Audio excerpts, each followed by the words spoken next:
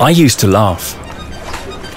Laugh so hard that it would take me back to the start, when I first learned to talk.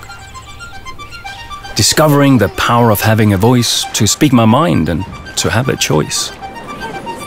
It's human to communicate, to listen, learn, and scream, to focus, to let go, and to pursue a dream.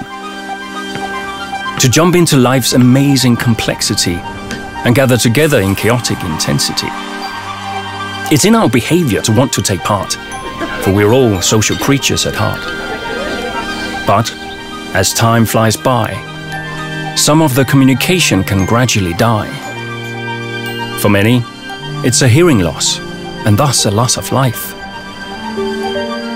Withdrawing from moments with loved ones because of sounds that won't come to life.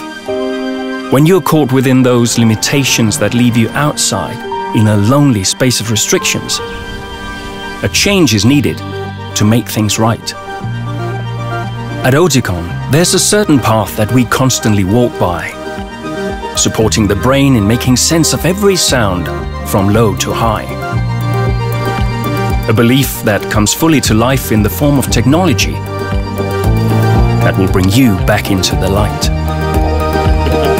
Back to the time when you sang your heart out in the bath because you thought you were all alone. Or that time when you gave a speech and there was not a dry eye left in the room. For this life is amazing, but only if you open up. So that is the path of change that we walk, bringing real difference to life instead of just talk. Changing technology, changing conventions, changing lives.